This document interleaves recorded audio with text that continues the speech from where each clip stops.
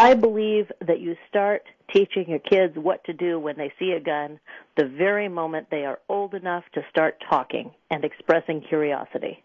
It's not any different than teaching them what to do if they see a kitchen knife, any different than teaching them to stay out of the cabinet where the medicine is. Yeah, you're going to keep your medicine locked up and you're going to tell the kid, oh look, here's a Mr. Yucky face. Have to stay away from Mr. Yucky face. Oh look, here's a kitchen knife. We don't touch the kitchen knives, right? And we do the same thing with the guns. We, it's not any different. It's not any other. It's you start from the time they are old enough to talk, and you keep educating over and over and over again, giving them a little more information as they get older, all the way along the line. It's so we you know, don't shy away from this.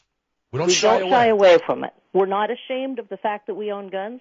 The fact that we own gun is a good thing. It is something we are proud of. We don't we don't care what the neighbors might say about it. Our children's lives are too important to leave to chance. We are not going to say, "Oh, I'm so embarrassed that the that the neighbors might find out that I own a gun, so I'm going to risk my child's life by not telling them about that." I think that's Well, you a know- foolish, foolish thing. Look at your I- I agree priorities you. and think about it.